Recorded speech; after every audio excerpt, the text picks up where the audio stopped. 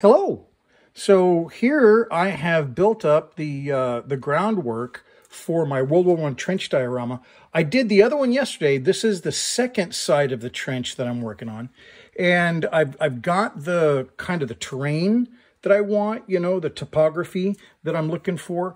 Now, while it's still a little wet, and I can add more if I need it, I want to put some of this battlefield debris. And there's there's two types in here. I, I just put my scrap uh, balsa wood and stuff in my blender, and I created this.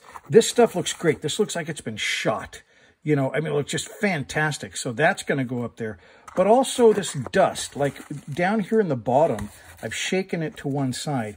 By creating this dust, I want to sprinkle that on here and that is going to mix in with the, the mud and stuff. And I'll do some more sanded ground on top, but it really makes it look good. So anyway, I will work on that now and show you some pictures when it's done.